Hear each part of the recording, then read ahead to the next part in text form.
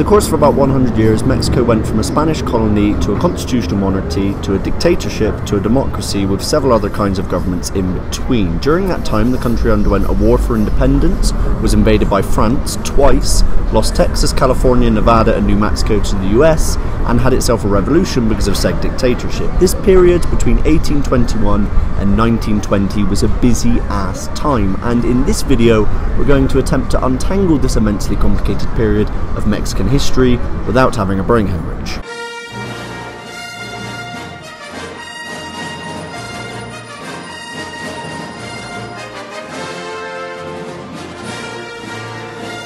Napoleon Bonaparte.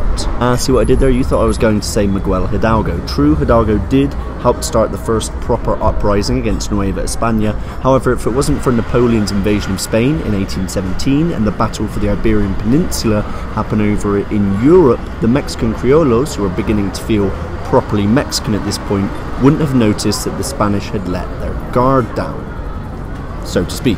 As a result, they had an excuse to say to themselves, you know what, screw Spain. Spain is a smouldering ruin. Now, Mexico, there's a country of promise. FYI, it's unclear whether Miguel Hidalgo actually used those exact words, but you know, he might have. The truth is that neither Hidalgo nor Napoleon were the sole causers of the War for Mexican Independence. Both men were massively influential, but history is rarely as simple as a series of events caused by, quote, great men, unquote.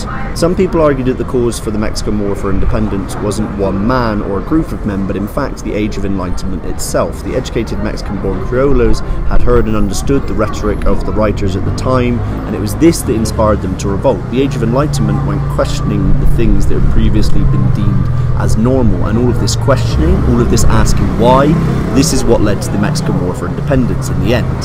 I mean, maybe. It's a decent theory. Skip forward 10 years, and the Mexican War for Independence was won by Mexico, obviously. I mean, if Mexico hadn't won this war, then this video would be titled A Crash Course in New Spanish History. However, it's not. Mexican won, and the war was over.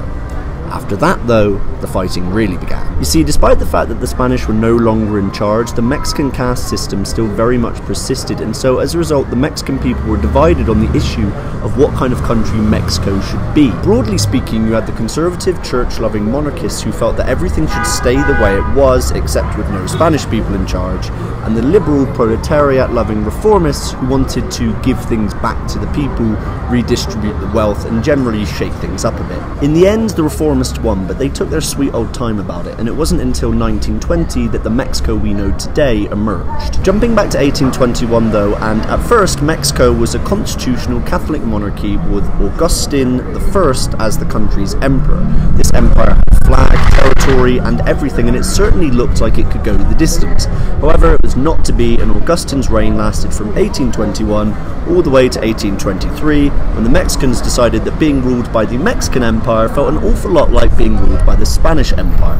Augustine was exiled, and when he returned to Mexico in 1824 with his family, he was executed. This first Mexican empire was followed by an uprising of anti monarchist ideas and a temporary provisional government which lasted for less than a year and was replaced by the more permanent First Mexican Republic.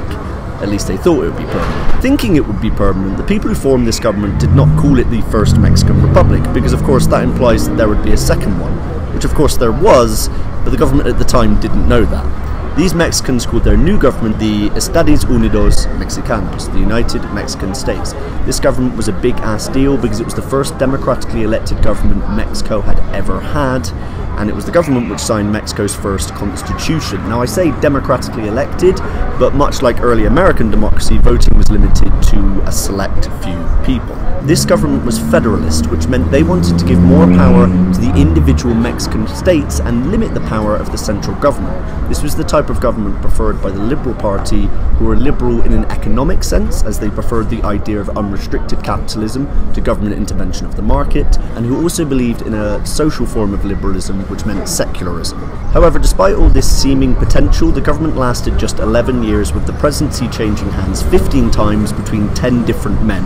In fact, it's even more ridiculous than that. Between 1st of April 1833 and 24th of April 1834, two men, Valentin Gomez Farias and Antonio Lopez de Santa Anna, argued back and forth over the presidency, with the result being the presidency changed hands seven times. Seven bloody times in just over a year. I wash my jeans less than that. Now, it's worth pointing out that not all of these presidency changes from 1824 to 1920 were due to infighting. Some people fell ill, some people went off to fight wars and so just handed power over to someone else.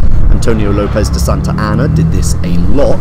There were coups as well, though, don't get me wrong. In fact, between 1824 and 1920, hardly a single Mexican president actually completed their term, with the average Mexican presidency lasting just 15 months during this period. Anyway, after the ridiculous Lopez de Santa Anna Farias fiasco, a new president was eventually elected, Miguel Barragan. Barragan was from the Conservative Party who wanted radically different things, and so as a result, he abolished the Constitution of 1824 and replaced it with the kind of government the Conservatives wanted.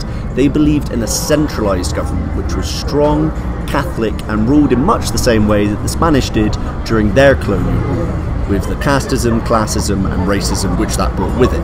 The new government Barragan set up is referred to now as the Centralist Republic of Mexico, but at the time it was simply called the Mexican Republic. During the Centralist Republic of Mexico, the Mexicans ended up fighting a really strange war with the French known as the Pastry War. The story goes that a French pastry chef had his boat destroyed by Mexicans while it was sitting in a harbour in Mexico. The French had a pretty decent relationship with Mexico up until this point and had been trading with them since the Spanish had occupied Mexico all of those years ago. However, as the Mexican government was going through something of a rough patch, they didn't really have time to do things like, you know, enforce the law.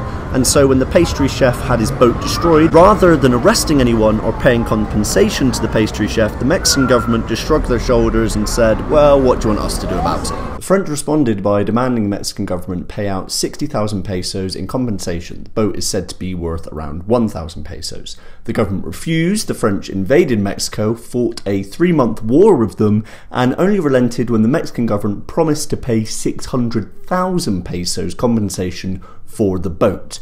Although, as of 2017, the Mexicans have yet to pay the French a single penny for this boat. As well as fighting off the French, the Centralist Republic also had to deal with internal uprisings, which eventually culminated in a huge land loss to the United States. However, before all that, the Mexican government was changed again, the Centralist experiment having been a massive failure, and the Second Federal Republic of Mexico was established in 1846. In 1848, the Mexican American War ended with Mexico selling off 2.4 million square kilometers of land to the US exchange for just under 20 million US dollars in total. In 1853, they sold the US even more land for a further 10 million US dollars.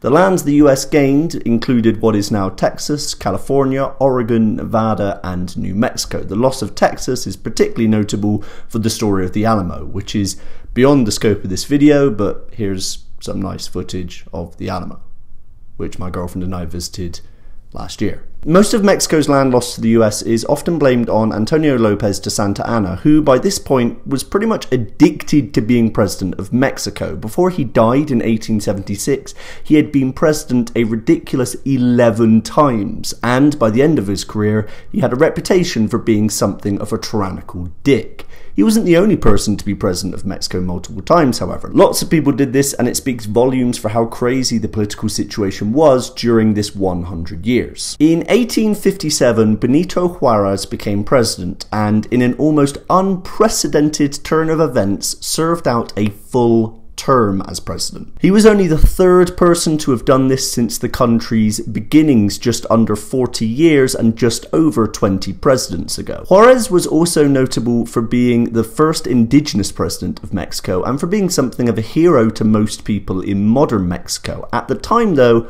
not everybody liked the guy. For starters, he had to deal with the Reform War. This kicked off when Juarez demanded the church give up some of its land. In response, the conservatives started a civil war. At around the same time, Juarez also had to deal with the second French invasion of Mexico. This invasion happened when Napoleon, not that one, the other one, the third one, his nephew, tried to reinstate a second Mexican empire with Maximilian I of the Habsburg family, the family notable for its facial defects brought on by generations of inbreeding as its ruler. The French were helped by the British, the Spanish, and the conservatives within Mexico who didn't like Juarez and who really, really wanted a centralist monarchist government just like the good old days when the Spanish were in charge. Juarez saw things differently. He defeated the French and the conservatives, reinstated the federalist government, made education mandatory for children, built a railway system, and introduced a rural police force. By 1872, Juarez had served more than five terms as president and died during his fifth and final term. It was Juarez who made Mexico more or less what it is today. However, Mexico wasn't stable just yet, and a mere four years later, Porfirio Diaz took power. Porfirio did some pretty great things for Mexico, making it more industrialized, wealthy, and more capitalist as well, but he was also a complete and utter dictator. Freedom of speech was banned, there was voter suppression, there was fraud. All of this was done to try and curb the instability of Mexico during this tumultuous time. However, it didn't work, and the Porfiriato, the period of dictatorship from 1876 to 1910, named after the dictator who made it possible, eventually led to the Mexican Revolution in 1910. That revolution ended in 1920, and yet another constitution and another form of government which by and large is the constitution and the form of government which Mexico still uses today. We'll talk about that in the next video, but for now, thanks for watching.